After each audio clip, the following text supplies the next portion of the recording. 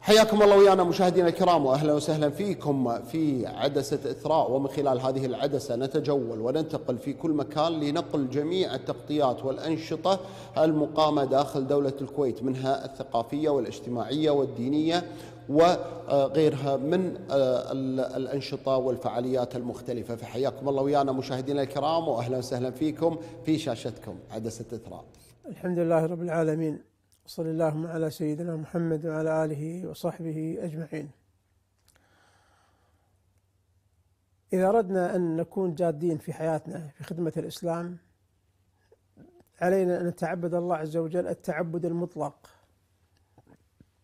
هناك تعبد مقيد وهناك تعبد مطلق. الله يريد منا أن نتعبده تعبد مطلق. ما الذي يرضيه سبحانه وتعالى؟ نسعى إلى ذلك. لذلك بعض الناس يظن أن أفضل العبادة التي فيها مشقة أو أفضل عبادة التي فيها العمل متعدي للآخرين. لا أفضل عبادة هي التي يرضاها سبحانه وتعالى. في الوقت الذي يحبه عز وجل. فمثلا أفضل العبادة في وقت الصلاة أنك تصلي. أفضل العبادة إذا كنت موجود عند والديك بر الوالدين. أفضل العبادة في آه، إظهار شعائر الإسلام عليك أن تقوم به. وشعائر الإسلام كثيرة جدا. إذا أردت أن يظهر الإسلام يجب أن تعمل بما يظهر قوة هذا الدين. ولا شك إذا أردت أن تعمل على إظهار هذا الدين عليك بتوحيد الصفوف وائتلاف هذه النفوس. هذا أمر مهم جدا. الأعداء أعداء الإسلام أكثر ما يغيظهم و يجعل في قلوبهم الحقد والحسد والتشفي هو اتحاد المسلمين. ربما نختلف. هذا شيء طبيعي. هذا شيء طبيعي. الصحابة اختلفوا رضي الله عنهم وأرضاهم لكنهم ضد الأعداء كالجسد الواحد. وإذا اختلفنا يجب أن نعذر بعضنا بعض. لأن هذا أمر يعتمد على أفهام الناس هذا يفهم شيء وهذا يفهم شيء. لكن في الأصول إحنا متفقين. وذاك تجد الأئمة الأربعة رضي الله عنهم رحمهم الله بينهم خلاف. لكن ليس خلاف على الأصول الخلاف على الفروع. ما يمنع هذا. إيش المشكلة يعني؟ لما نختلف على الفروع. المهم القلوب تتوحد. القلوب تتوحد وتأتلف وكل واحد حريص على أخوه ينصر أخوه ويحاول أن يعني يستر عليه. ما يتركه للأعداء كل واحد ينهش في هذه الجسد في في جسد الأمة. ونحن ننظر وفقط وننشغل فيما بيننا من صراعات ومن أمور ربما يفرح بها الأعداء. لذلك علينا بالتناصح والتواصي.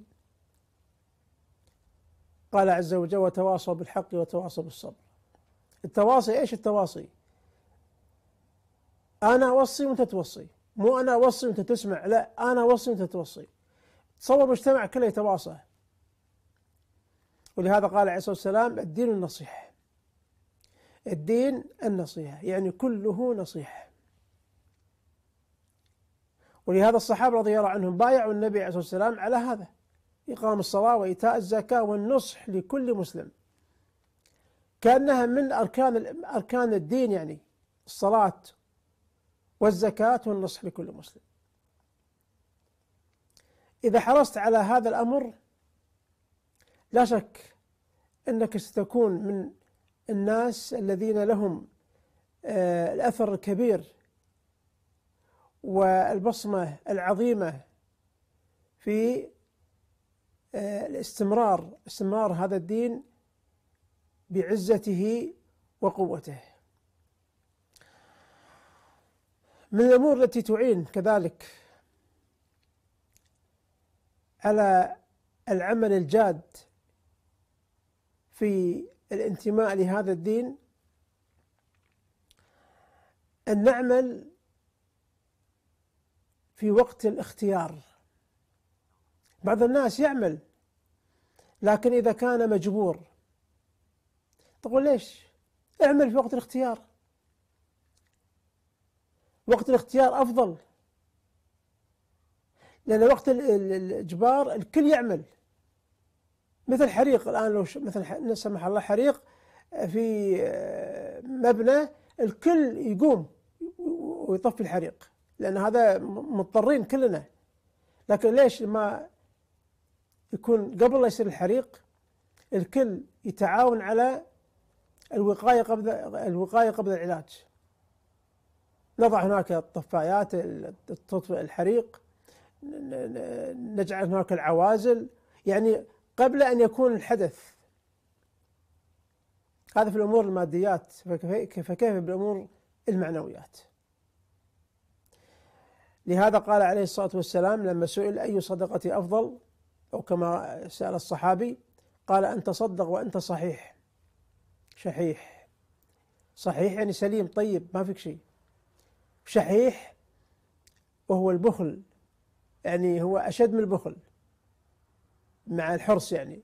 بخل مع الحرص. شحيح. تخشى الفقر. وتأمل الغنى. ولا تمهل.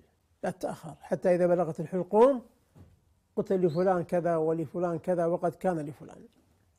كانك تصدق من مال ورثه ملك. الذي لك الذي هو لك فقط مالك. ولك فقط. الثلث إذا كانت هذه الوصية عندما يكون الإنسان في مرض الموت كما يقال. فاحرص كل الحرص على أن تعمل في وقت الاختيار.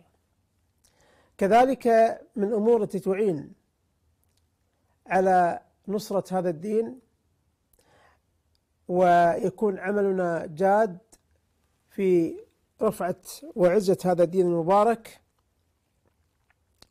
علينا أن نستمر في العمل.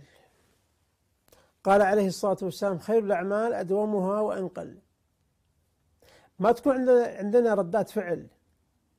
لأن صار حدث الكل يشتغل والكل يعمل والكل مثلا آه، يعني يبطل نفسه يسهر وكذا طيب وبعدين؟ خلاص. لا استمر. الاستمرار هو الذي فيه القوة. خير الأعمال أدومها وإن قل. فالفضل ليس في, في, في, الكثرة الفضل في الاستمرار.